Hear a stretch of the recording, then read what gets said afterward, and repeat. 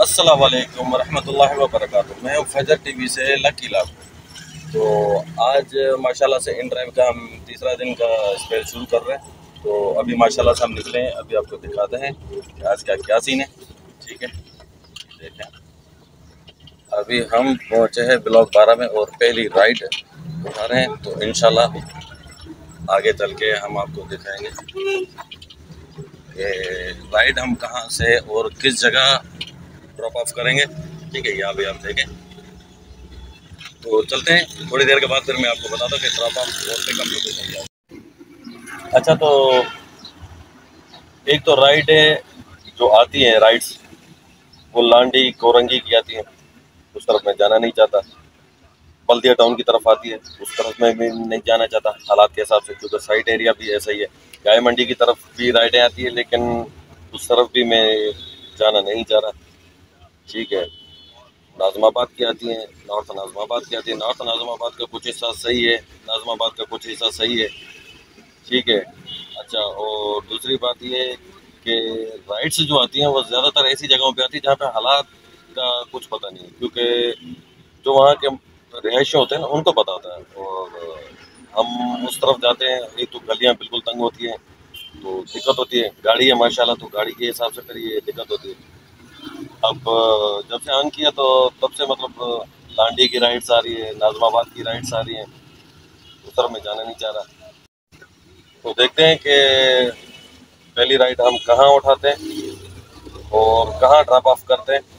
ठीक है? और, क्योंकि मसला ऐसा भी आज गर्मी भी है तो एहतियात करके चलाना है और, जितना हो सके ड्राइवर हजरात, जितने भी इन ड्राइवर वाले हैं या दूसरे जो भी ड्राइविंग कर रहे हैं, चाहे वो बाइक्स पे हो या कार पे हो तो पानी की बोतल लाजमी रखें और पानी तकरीबन ये समझिए कि हर आधे घंटे के बाद लाजमी पी। क्योंकि इससे आपके जिसम में तोानाई आती है। तो एहतियात लाजमी है हीट वेव भी चल रहा है, जब तक बारिशें नहीं होती तो अपना ख्याल रखें। देखते हैं पहली राइड कौन सी आती है वो फिर हम आपको गाइड करते हैं, बताते हैं। अच्छा तो अब ये देखें आ रहा है इन ड्राइव का, ठीक है? और ये गुलस्तानी ज़ोर ब्लॉक ग्यारह से बिंगू गबल कोट से जाएगा नौतरन बाईपास गाय मंडी ठीक है? आठ सौ रुपये फेयर आ रहा है। डेढ़ किलोमीटर इस पर शो कर रहा है, लेकिन मैं भी आपको दिखाता हूँ, ये तीन किलोमीटर और सात सौ मीटर दूर है। मतलब साढ़े तीन किलोमीटर का लगा रहा है। ठीक है? और डिस्टेंस जो है इसका बाईस किलोमीटर छः सौ मीटर है। तो इस पे एक फेयर आ रहा है, आठ सौ रुपये जो कस्टमर ने दिया फिर नौ सौ रुपये हम अपनी मर्ज़ी से दे सकते हैं, हज़ार रुपये दे सकते हैं। हज़ार पचास रुपये भी दे सकते हैं। और दूसरा, उसके बाद जो ऑप्शन आ रहा है, वो एडिट है उसमें एडिट में हम हज़ार पचास से हज़ार सत्तर तक दे सकते ग्यारह सौ तक नहीं दे सकते, क्योंकि उसके बाद एक्सेप्ट नहीं करेगा। ठीक है तो हम ये राइड भी नहीं उठा रहे तो हम देखते हैं कि अगली राइड कौन सी आएगी, वो फिर तब तक देखते हैं क्या पोजिशन है। ठीक है?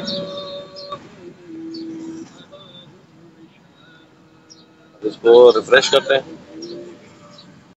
अच्छा तो पहली राइड हमें मिल गई है। काफ़ी टाइम के बाद चार सौ मीटर की दूरी पे और जाना दो किलोमीटर की दूरी पे फेयर भी कम है। तो चलते हैं, पहली राइड उठाते हैं। अच्छा तो अभी हमने राइड उठाई और जोहर चेज प्लस पे हमने छोड़ दी, ठीक है। ये मैं अभी आपको दिखाता था चेजा पे ये ज़ोर चोरेंगे ना। असल में ये देखें, ये ज़ोर चोरेंगे का जो अंडर बाईपास बन रहा है, इसकी वजह से बहुत सी डिस्टर्बेंस हो रही है और पूरे दो किलोमीटर का डिस्टेंस लेकर आना पड़। रहा है चले, आगे देखते हैं। अच्छा तो हमने वहाँ से राइड लेके और हमने तारक रोड पे राइड छोड़ी। तो अब सिस्टम ये है कि गर्मी भी है तो और दूसरी बात ये कि मेरी छोटी बेटी है, माशाल्लाह फजर। बहुत प्यारी है मुझे, आठ साल के बाद माशाल्लाह हुई है। अल्लाह उसको बड़ी खुशियाँ नसीब अता फरमाए। तो उसकी वजह से ज़ाहिर बात है काम पे दिल भी नहीं कर रहा तो मैं भी ये सोच रहा हूँ कि यहाँ से अभी एक और राइड लेके और इसको मैं फिनिश करूँगा। तो माशाल्लाह एक्सपीरियंस ये अच्छा रहा कि इस बात पे कि अर्निंग माशाल्लाह है। अच्छा इसमें आ, मैं आपको ये एडवाइस देना चाहूँगा कि काम कोई भी आप करें।